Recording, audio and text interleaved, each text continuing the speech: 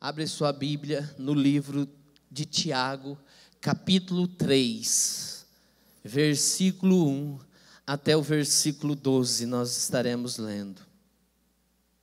O título da mensagem dessa noite é Palavras que Liberam Vida. Palavras que liberam vida. Tiago, capítulo 3, versículo 1 até o versículo 12. Diz assim a palavra do nosso Senhor e Salvador Jesus Cristo. Meus irmãos, muitos de vós não sejam mestres, sabendo que receberemos mais duro juízo, porque todos tropeçamos em muitas coisas. Se alguém não tropeça em palavra, o tal é perfeito e poderoso também para refrear todo o corpo. Ora, nós pomos freio nas bocas dos cavalos para que nos obedeçam e conseguimos dirigir todo o seu corpo. Vede também as naus que, sendo tão grandes e levadas de impetuosos ventos, se viram com um bem pequeno leme para onde quer a vontade daquele que as governa. Assim também, a língua é um pequeno membro e gloria-se de grandes coisas. Vede quão grande bosque um pequeno fogo incendeia, a língua também é um fogo, como o mundo de iniquidade. A língua está posta entre os nossos membros e contamina todo o corpo. É inflamada o curso da natureza e é inflamada pelo inferno, porque toda a natureza, tanto de bestas feras como de aves, tanto de répteis como de animais do mar, se amansa e foi domada pela natureza humana. Mas nenhum homem pode domar a língua, é um mal que não se pode refrear, está cheia de peçonha mortal. Com ela bendizemos a Deus e Pai, e com ela amaldiçoamos os homens, feito à semelhança de Deus. De uma mesma boca procede bênção e maldição. Meus irmãos, não convém que isso se faça assim.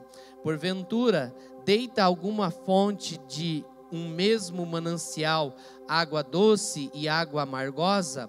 Meus irmãos, pode também a figueira produzir azeitonas ou a videira figos? Assim tampouco pode uma fonte de água salgada dar água salgada e doce.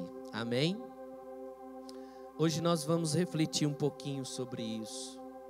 Antes, só uma prestação de conta. Pastor Enoque está viajando em Santarém e ele nos deu o privilégio, o rico privilégio de estar ministrando a palavra para os irmãos.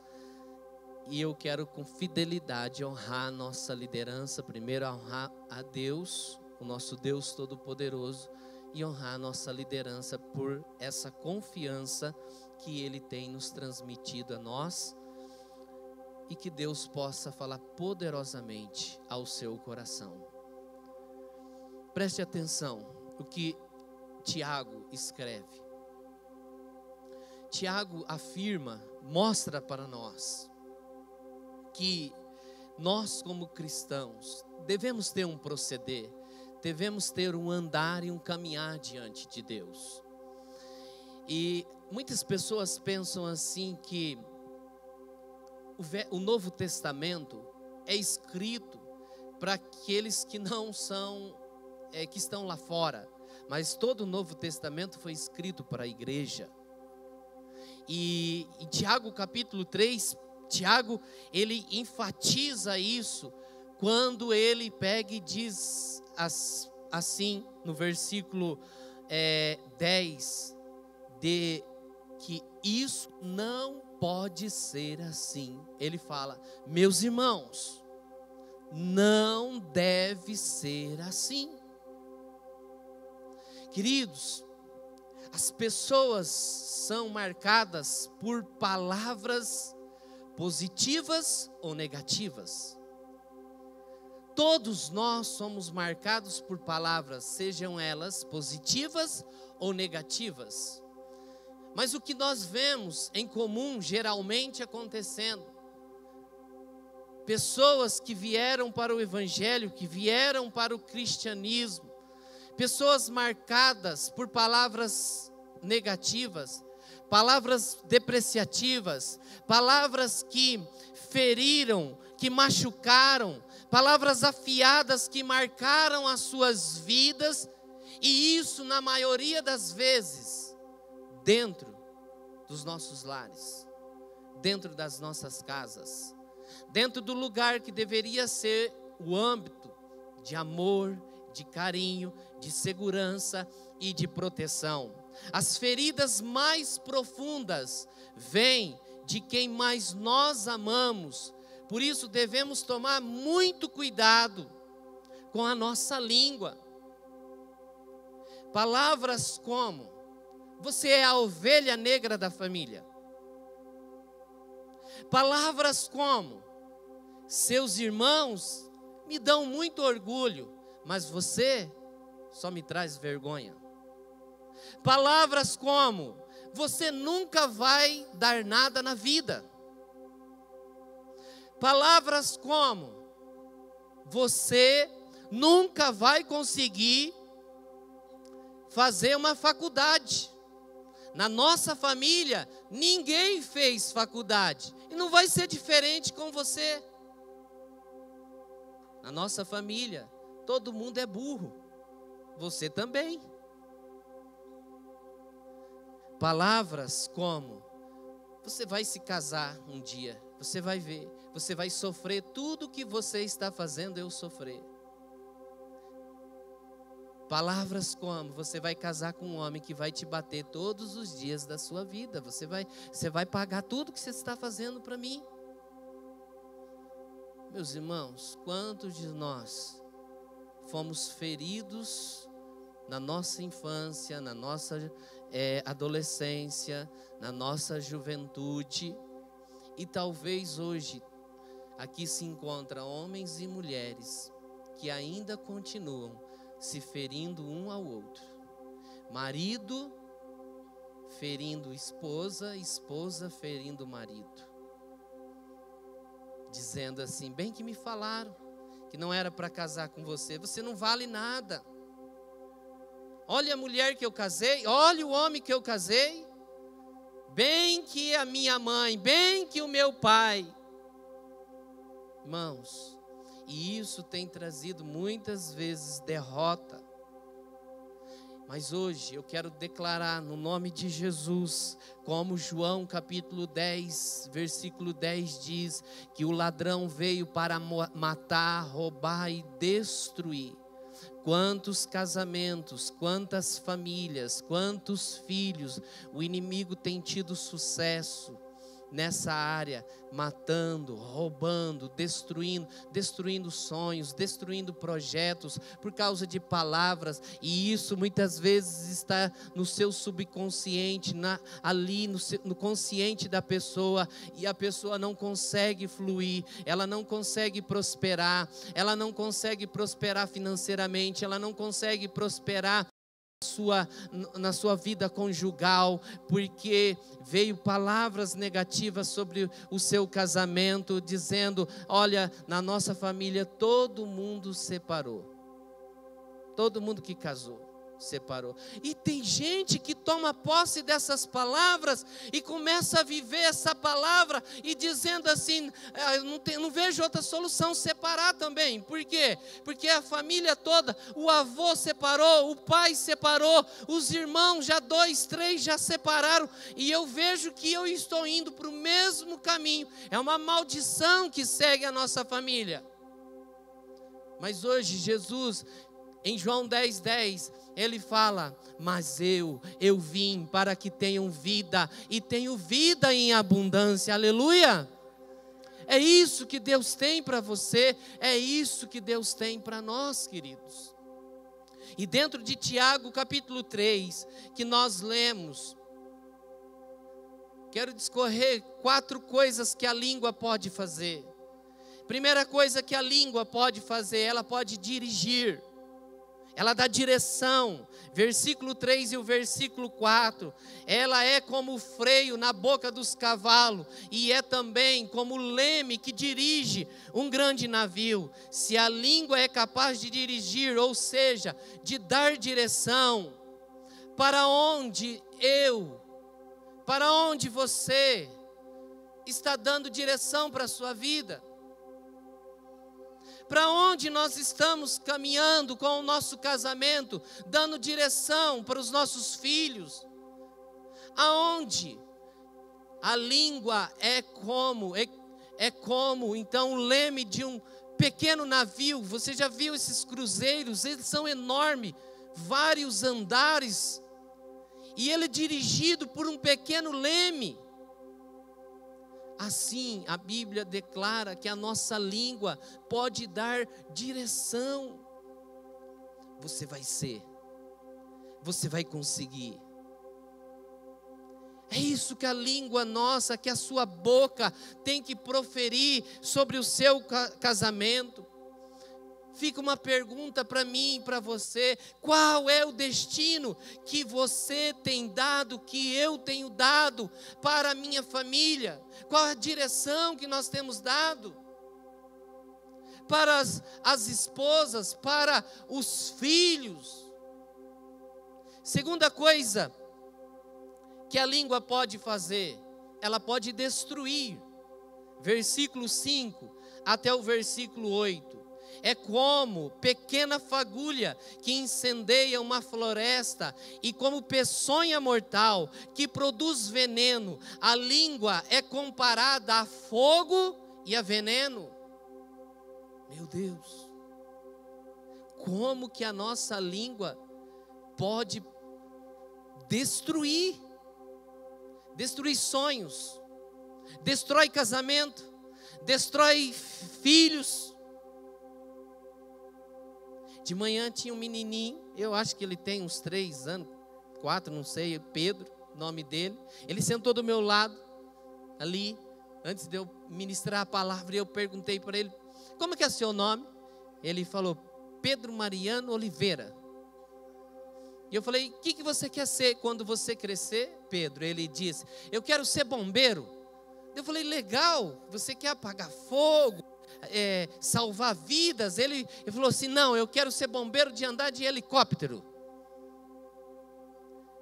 Queridos, quantos sonhos que eu e você nós tínhamos quando criança, e eles foram destruídos com o passar do tempo, às vezes pelas pessoas que nós mais amamos, as pessoas que estão perto de nós sem palavra, sem, sem entendimento, sem sabedoria.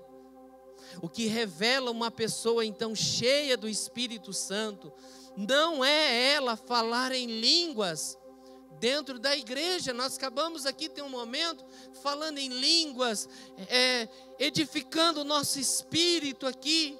Mas o que revela uma pessoa cheia do Espírito Santo de Deus, não é ela falar em línguas aqui na igreja, mas é lá o que a, o que a sua língua fala dentro da sua casa.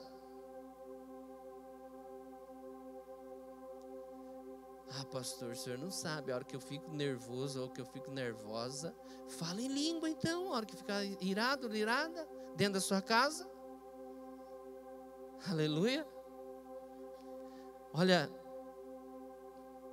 o escorpião tem veneno na sua cauda, a serpente tem veneno no seu dente.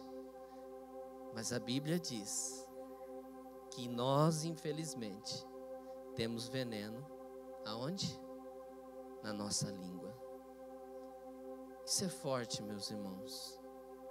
Mas que hoje, nessa noite, o sangue precioso de Jesus venha e percorra principalmente a nossa língua e possa sarar, curar e dar uma nova finalidade para o uso dela. Que a nossa língua não seja usada para destruir, que a nossa língua não seja usada para trazer contenda, que a nossa língua não seja, não seja usada para murmurar contra o nosso Deus, contra a nossa liderança, contra tantas pessoas que muitas vezes nós murmuramos. Terceira coisa que a língua pode fazer: alimentar. Versículo 11 e o versículo 12. É como fonte que brota, que jorra, é como árvore que gera frutos. Que tipo de alimento eu e você nós estamos dando, produzindo para as pessoas que sentam junto de nós, que andam junto de nós, as pessoas que nos cercam, que nos rodeiam. Que tipo de fruto? Olha, irmãos, lá em Salmo 23 diz que nós somos como árvores plantadas junto a ribeiros de água tranquilas, que dá o seu fruto. Quando eu me assento na mesa da minha casa, para me alimentar com os meus filhos, para ter o um momento da refeição. Eu sou essa árvore frutífera, aonde os meus filhos, onde, onde meu casa, o meu casamento, a minha esposa, aonde eles podem ali saciar de palavras de vida, palavras de vida eterna, que vai produzir bênção para a vida deles. Mas quantas vezes, infelizmente, nós, irmãos, não liberamos palavras de vida. Às vezes alguém, alguns nem têm hábito de sentarem juntos para fazer as suas refeições, para poder alimentar a alma dos filhos, para poder alimentar a alma da esposa. Queridos, nós vivemos num mundo hoje que esse corre-corre, que esse agito todo tem deixado as pessoas é, com a, a sua saúde emocional, segundo a ONS, diz que até 2020, um terço da população sofrerá de doenças emocionais ansiedade, depressão, estresse, nervosismo, tudo isso causado. Por quê? Porque muitas vezes não se senta com a família para poder liberar palavras de vida, palavras de bênção, palavras que abençoam. Olha o que diz Provérbios 16, 24: as palavras suaves são como favos de mel, doces para a alma e saúde para os ossos. Palavras suaves são favos de mel para a alma.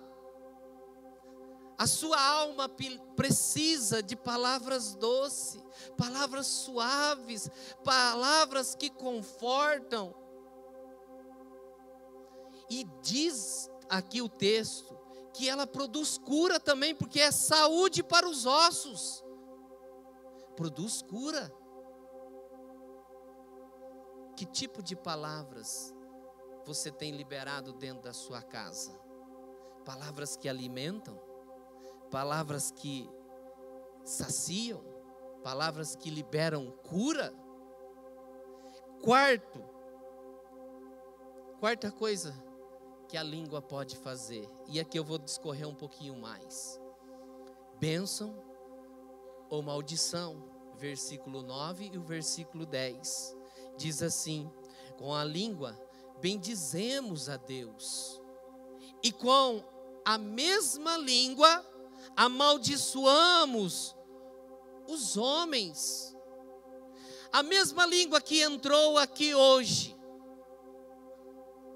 e diz: Bendito seja o nome do Senhor. Deus seja louvado, Deus seja engrandecido, Deus seja exaltado. Pode, ao sair do culto, Aqui é o que, a, que Tiago, o apóstolo Tiago está dizendo. Pode sair daqui, ao atravessar a rua, já começar a amaldiçoar os homens, amaldiçoar a esposa, amaldiçoar o esposo, amaldiçoar os filhos. Você não tem jeito mesmo, né? Não para sentado. Onde você vai parar com isso? Vai ser um infeliz. E o apóstolo Tiago diz assim: meus irmãos, não convém que seja assim. Não pode ser desse jeito, meus irmãos. A sua boca é manancial de bênção, de vida, de vitória. É isso que a sua boca é. Em Provérbios 18, 20 e 21, o sábio Salomão, ele escreveu o seguinte: O homem se fartará do fruto da sua boca, dos renovos dos seus lábios se fartará. A morte e a vida estão no poder da língua, e aquele que ama comerá do seu fruto. Na nova tradução, na linguagem de hoje, eu, eu gostei mais da, da nova linguagem de hoje, a tradução na nova linguagem de hoje, que diz assim, Marco: Você terá que aguentar as consequências de tudo que você disser. Hã? Irmãos, muita gente não aguenta, né? Porque na hora que somos pressionados, a gente fala: Não, não falei nada, não. Não foi eu, não. E aí, às vezes, a gente até transfere para o outro. Não, não, foi, sabe, foi o fulano que falou. E a gente, às vezes, não aguenta a consequência de tudo que falamos. E diz assim, encerrando: O que você disser, diz pode salvar ou destruir uma vida. Portanto, use bem as suas palavras e você será recompensado. Irmãos, use a sua palavra com sabedoria, use a sua palavra para edificar, porque você comerá, você receberá a recompensa de toda palavra boa que você proferir. Lembra que eu falei que as palavras são como sementes? E muitas vezes as sementes são armazenadas em celeiros. E a pergunta que eu faço para você: de onde você tem tirado as sementes? Do celeiro de Deus ou de um outro celeiro? Tem, um, tem celeiros, irmãos, chamado alguns programas de TV. Eu, para ser sincero, queridos, eu, eu não, não gosto de assistir programas policiais, por exemplo.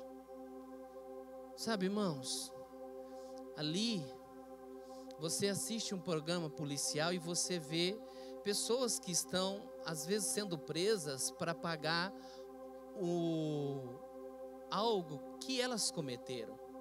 Mas lembra que muitas vezes a nossa boca que foi usada domingo para bendizer o nome do Senhor, a nossa boca começa a amaldiçoar dentro da nossa casa? É, tem que ir preso mesmo, tem que morrer na cadeia um infeliz desse. Tomara que apodreça lá na cadeia. Irmãos, Tiago diz: não convém, irmãos, que a sua língua seja usada para isso. Cada um vai pagar por aquilo que fez perante a justiça. Mas, irmãos, quantas vezes nós nos abastecemos de coisas más, de coisas negativas, e aí nós não temos palavras boas para abençoar as pessoas, para liberar sobre a vida das pessoas.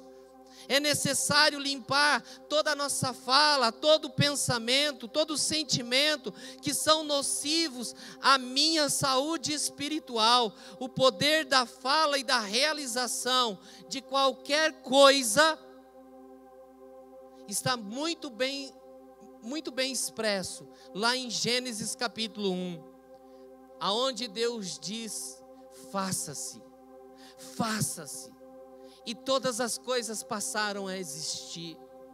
Deus, irmãos, Ele disse: faça-se os luzeiros, faça-se as vegetações, faça-se os animais, faça-se os répteis, e tudo foi sendo feito.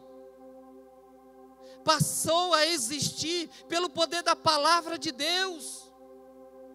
E a Bíblia diz que em Gênesis 1, 26, nós fomos criados imagem e semelhança de Deus. Façamos, façamos quem? O homem e a mulher, a nossa imagem e semelhança. Eu e você fomos criados com a autoridade de Deus também para fazer existir as coisas boas, porque nós fomos criados à imagem e semelhança dele, na perfeição dele. Olha só, toda Trata-se aqui de dizer que toda fala é geradora, ela cria todas as coisas, pelo poder da palavra, algo se faz, se manifesta, vem à tona.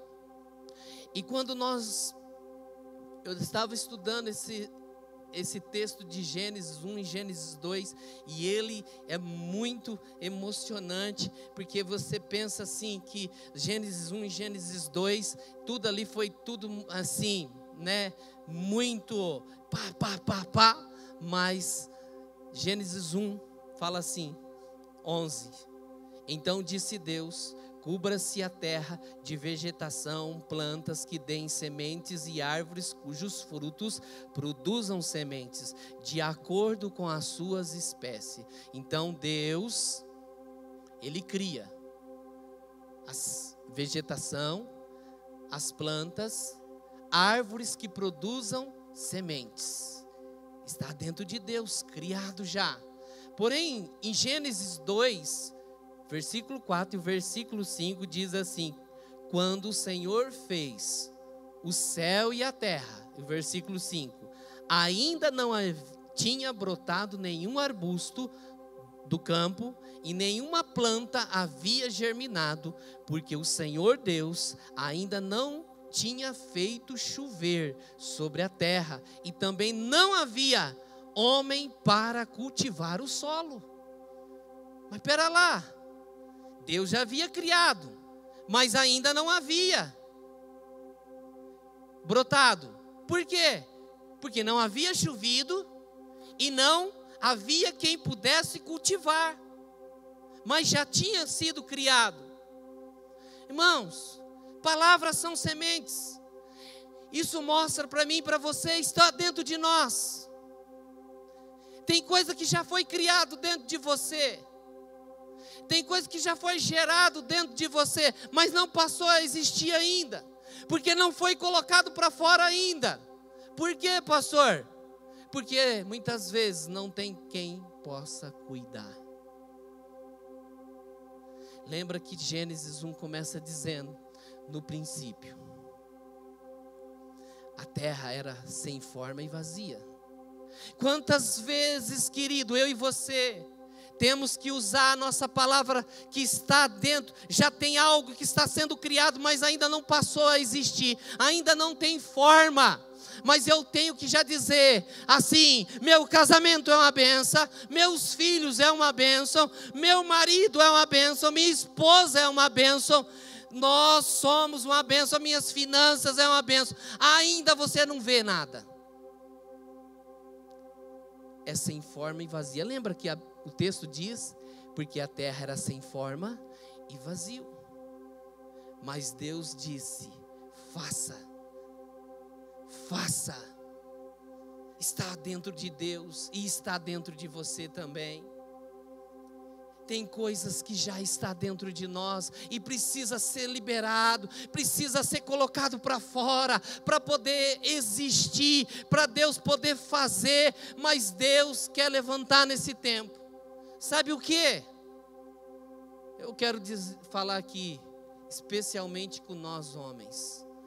Deus quer levantar uma geração de sacerdotes uma geração de homens que sejam capazes de cultivar aquilo que Deus já criou e Deus já gerou. Uma geração de homens que sejam capazes de cuidar da Eva, de cuidar das emoções da Eva. Eu fiquei pensando, Deus, às vezes o pessoal, às vezes a gente brinca, fala, é porque a Eva. Mas quantas pessoas, queridos, quantos homens hoje têm negligenciado a sua autoridade sacerdotal que Deus colocou sobre a sua casa, sobre o seu lar?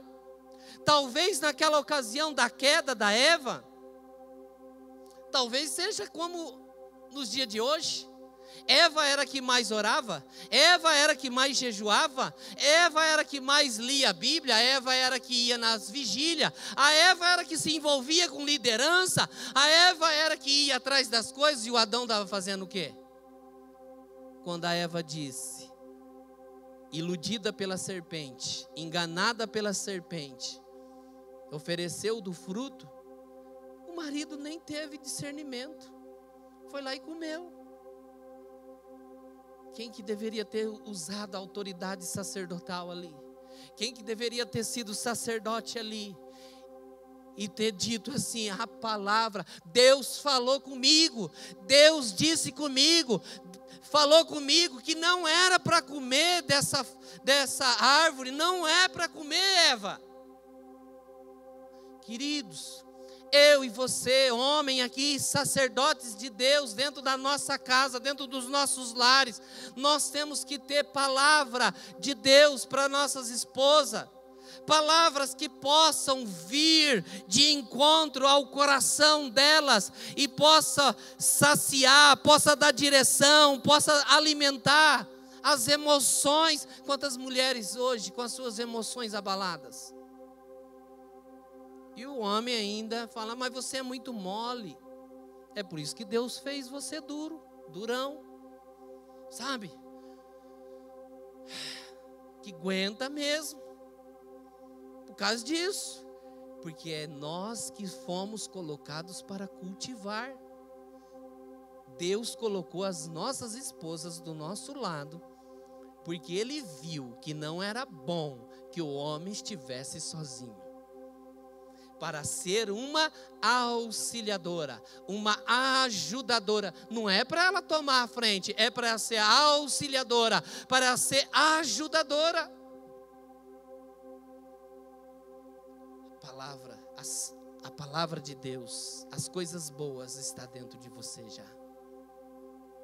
É você que tem que colocar para fora. A semente tem que começar a ser gerada germinada dentro da sua casa, dentro do seu casamento. O mesmo então vale para os pensamentos, sentimentos em relação ao próximo. E qual é o próximo mais próximo de nós? É a nossa esposa, os esposos, os filhos. Fale, pense ou sinta qualquer coisa em relação ao próximo, e isso vai mais dia ou menos dia se materializar conforme o dito, conforme o pensado, conforme o sentido, mas devemos lembrar que o que eu penso em fazer para o outro, antes de qualquer coisa, já está em mim, já pertence como criação minha. Se está em mim, já está feito e está em ação dentro de mim. E eu serei o primeiro a ser beneficiado ou prejudicado por aquilo que eu estou lançando e lançando sobre o outro. Se a tua palavra é palavra doce como mel, suave, você colherá o fruto disso. Você vai receber isso de volta para você. Mas se as suas palavras são duras, são pesadas, são de maldição, Quantas mães? O pessoal mais antigo tinha esse esse dito popular, né? Dizia: praga de mãe pega, hein? Lembra? Praga de mãe pega. Mas não é, irmãos. Praga de mãe. Quantas mães sem sabedoria disseram um dia para os seus filhos? Eu conheci uma que ela dizia para o filho dela assim: Você nunca vai passar de uma camisa. O filho dela veio a falecer com nove tiros por bandidos e quando ele faleceu na sua idade, mais ou menos 21 anos, 22 anos, ele só tinha uma camisa para pôr nele para ser sepultado. Mas essa palavra sempre foi proferida pela mãe, foi liberada pela mãe. Sua boca é para abençoar. Vale então a máxima de não fazer ao outro o que não quero que se faça comigo. Por isso é importante perceber se aquilo que falo, penso, sinto em relação a quem quer que seja é positivo ou é negativo, é bom ou é ruim, é construtivo ou é destrutivo tenha domínio da sua língua, para que você não seja escravo das suas palavras. Tiago, capítulo 1, versículo 19 diz: Portanto, meus amados irmãos, todo homem seja pronto para ouvir, tardio para falar, tardio para se irar. Como nós nos iramos com facilidade, irmãos? Como ficamos nervosos, discutimos, blasfemamos, somos rápidos na crítica e tão demorados no elogio. Preste atenção em casa. Então, estamos em casa. A esposa preparou aquela comida. Sabe? Falei aqui de manhã, irmãos. Aquela comida excelente, a preferida sua. Mandioca cozida com torresmo. Aleluia e já chegou lá em casa, viu? É, Deus é bom. E aí, ela preparou aquilo com amor, com carinho. Mas é fácil nós chegarmos em casa e ver toda aquela mesa preparada e nós elogiarmos e dizer, dissermos, dizer assim para a esposa: olha que, que benção, que maravilha, ai que delícia. Ai, esse arroz, amor, que arroz delicioso. Ai, que feijão temperado, tão gostosinho. Ai, com, com bacon, ai, que delícia que ficou. Às vezes a Michelle fala assim para mim, eu já estou comendo, já estou quase terminando de comer. Ela fala assim: ficou gostosa a comida? Aí eu falo assim: ah, ficou uma delícia, agora não vale mais.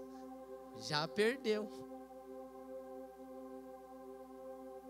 Mas irmãos, é tão fácil você sentar à sua mesa. E aí você, aquele dia que ela não foi, ela estava às vezes tão preocupada com outras coisas, esqueceu de pôr o sal no, no arroz, ou pôs muito sal no feijão, sal exagerado no feijão, essa, né? A hora que dá a primeira garfada ali, já vem logo a crítica. Meu, o arroz está sem sal, ah, o feijão está salgado, ai, errou de novo. A crítica vem rapidinho, mas o elogio muitas vezes demora. Até porque, irmão, você já viu alguém comendo feijão salgado e comendo, hum, hum, ai que delícia, oh, hum, hã? É, é até difícil. As mulheres muitas vezes, às vezes pede para os filhos, ó, oh, sabe quando sai de casa e a mãe deixa uma listinha na geladeira para o filho fazer, para a filha fazer, e aí a hora que chega em casa, daí a mãe chega E a mãe, aquele olhar biônico de mãe, né? Mãe tem um olhar biônico, parece que ela passa assim, e vai tudo, e em questão de menos de 30 segundos, ela dá, já fala assim: Você não fez isso, você não fez aquilo, você não fez aquilo outro, por que, por que, que não pôs a, a, a, a roupa no varal? Mas teve coisa que foi feito. Quão difícil às vezes é, Léo, chegar em casa e primeiro elogiar. Olha, filha, que benção, a louça está lavada, né? Ai, o banheiro está tão cheiroso, filha. Hã? Ai, a casa está limpinha. Ai, filha, Ai, se você só esqueceu de passar, é, tirar o pó das, das coisas.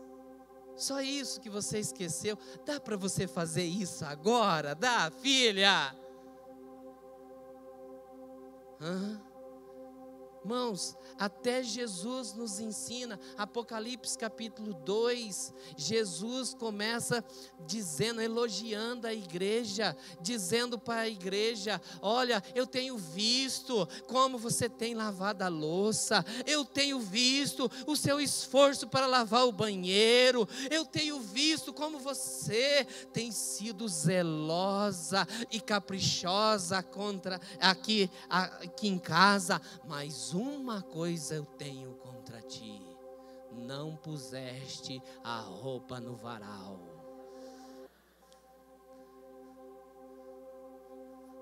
Seja espiritual.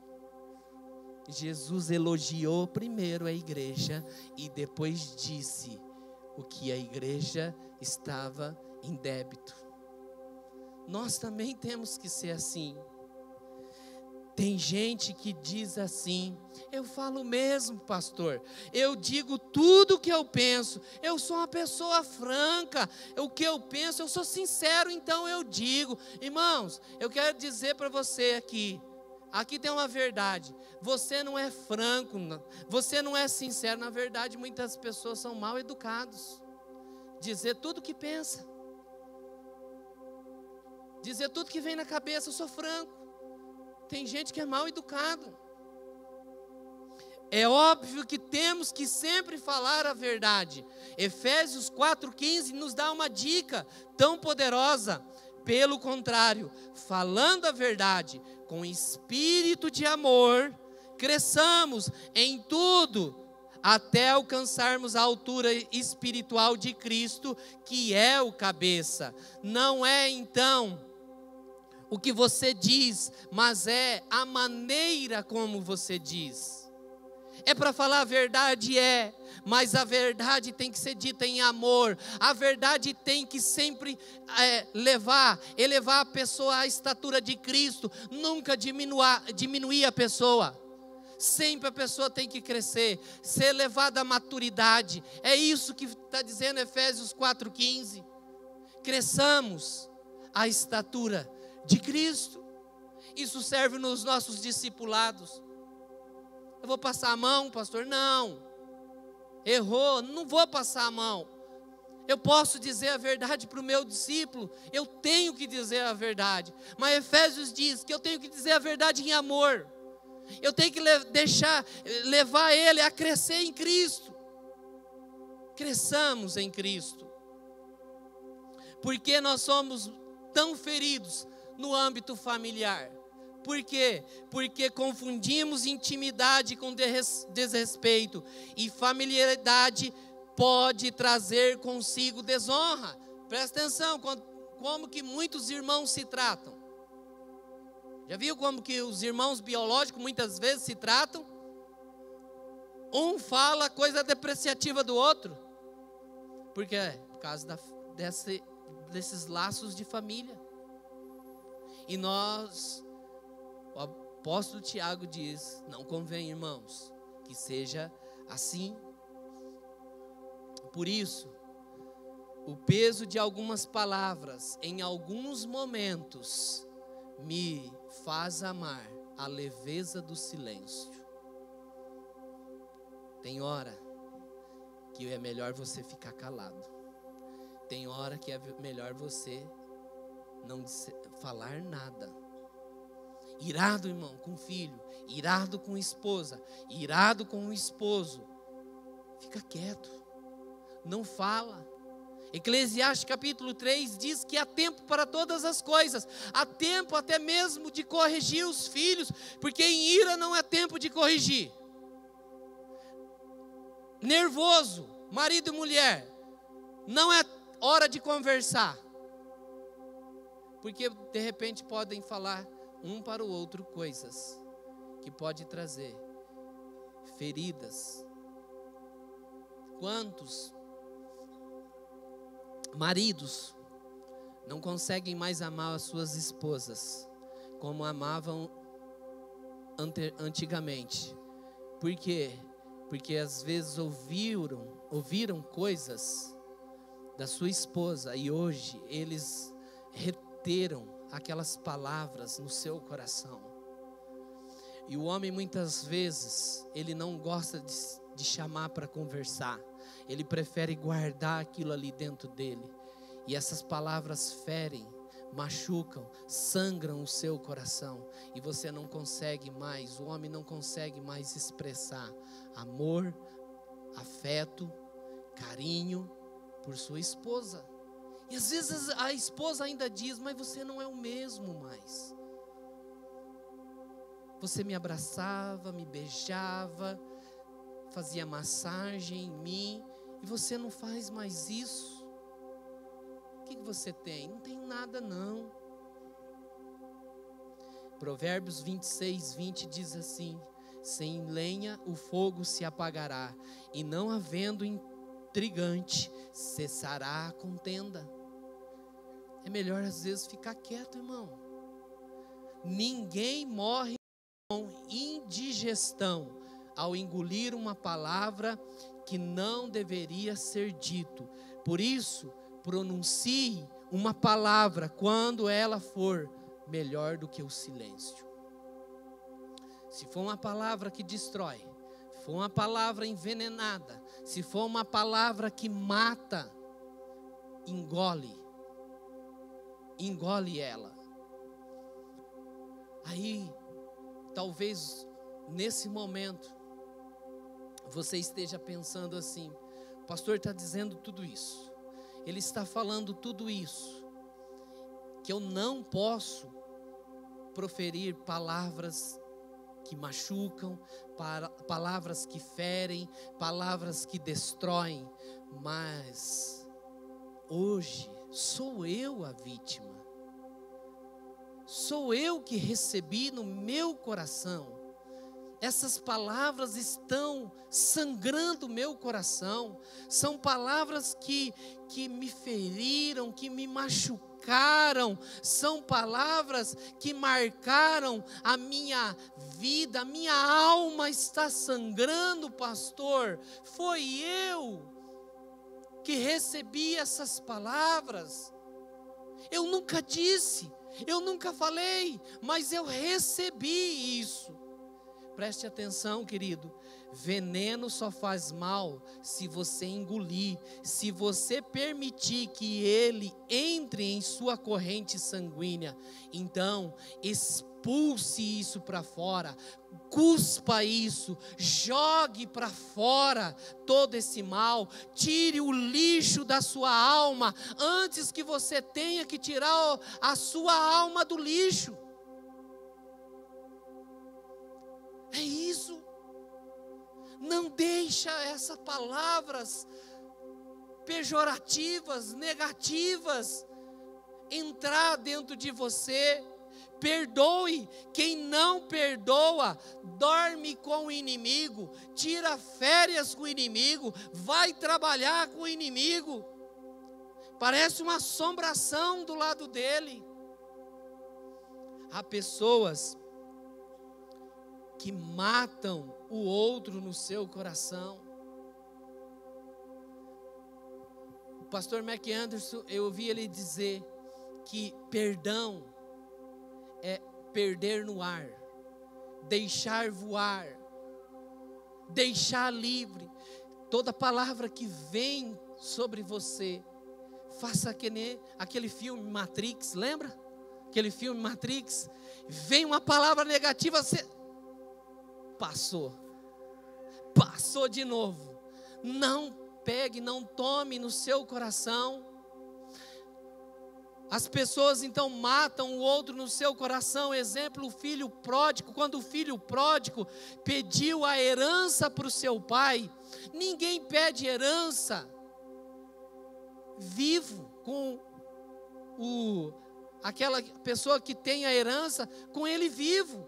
A gente é requerido a, a, herança de alguém que morreu. Quando o filho pródigo pede a herança para o seu pai, sabe que ele estava querendo dizer: Pai, para mim você morreu. Pai, para mim você não existe mais. Eu quero viver longe de você. É como se você não existisse mais para mim. Você está morto para mim. Mas quando o filho pródigo volta, pai diz assim: matamos o bezerro cevado. Vamos comemorar, porque o meu filho estava morto e reviveu. Quando nós matamos alguém no nosso coração, na verdade, não somos nós que morremos, não, não é a pessoa que morre, somos nós que morremos. Somos nós que deixamos de viver. Shakespeare disse o seguinte: guardar ressentimento é como tomar veneno e esperar que o outro morra. Tire todo o ressentimento do seu coração. Perdoe aquelas pessoas que talvez sem sabedoria feriram o seu coração, deixaram o seu coração sangrar. A sua alma hoje talvez é uma alma ressentida, é uma alma que não consegue desfrutar do melhor de Deus. Libere essas pessoas, deixe essas pessoas liberadas. Você que está aprisionado num cativeiro de palavras negativas, palavras que te machucaram, mas Deus tem palavras de vida eterna para você aqui todos os domingos na célula, o seu discipulador tem liberado palavras de vida. Olha, mãos, você você vai dar certo, você vai conseguir. Você é um líder de excelência, você é um marido bom, você é uma esposa boa, você tem bons pais, você é um bom filho. Deixe essa semente germinar e dar os seus frutos a voz é a palavra, é o, a, é, é o som mais potente do mundo, é o único que pode começar uma guerra e também pode parar uma guerra com um simples eu te amo. A voz é a arma mais poderosa deste mundo. É a palavra que está sendo liberada da sua boca, da sua língua, sobre o seu casamento, sobre os seus filhos, sobre o seu esposo, sobre a sua esposa, sobre a sua célula, sobre os seus discípulos, sobre essa igreja. Ferramenta nenhuma forjada, preparada contra ti, contra a tua casa, há de prosperar Sabe por quê? Porque você tem a arma mais poderosa e é você que usa ela, é a sua língua para abençoar, para dar direção, para alimentar e para abençoar a vida daqueles que te amam. Amém? quero que você fique de pé agora.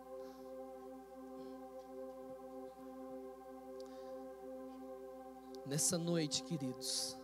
Daqui a pouco nós vamos participar da ceia.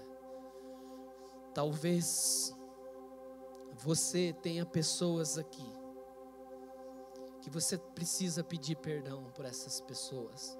Talvez você foi a pessoa que usou palavras que feriram, que machucaram, mas talvez também seja você o ferido, o machucado, e você tem guardado esses ressentimentos no seu coração. E você não tem conseguido colher o melhor de Deus. E talvez hoje você precisa liberar essas pessoas, você precisa pedir perdão para essas pessoas. Você tem essa oportunidade nessa noite de você orar, levantar a sua voz em oração diante de Deus e falar com Deus. E se você precisa pedir perdão para alguma pessoa, você sai do seu lugar. Se ela estiver do seu lado, você pode pedir perdão para essa pessoa do seu lado. E eu quero deixar esse momento agora, para que o Espírito Santo de Deus possa curar a sua alma, possa curar o seu coração, para que Ele possa te libertar dessa prisão, para que Ele possa te libertar desse cativeiro de ressentimento, de falta de perdão. Quero que você feche os seus olhos e comece a falar com Ele agora. Começa a ser ministrado pelo Espírito Santo agora. Vai perguntando para Ele, Deus, há alguma coisa ainda que eu guardo no meu coração? Há algum ressentimento no meu coração? Há palavras que eu fui ferido, que eu fui machucado, ou palavras que eu feri, palavras que eu machuquei? Eu fui o causador de destruição, eu fui o causador de mortes espirituais. Eu quero trazer vida, eu quero vida novamente hoje. Vai falando com Deus, vai deixando Ele te ministrar. E se você quiser sair do seu lugar para pedir perdão para quem for necessário, saia do seu lugar. Talvez a pessoa está do seu lado. Nós vamos participar da ceia já já. Mas não faça isso antes sem você pedir perdão.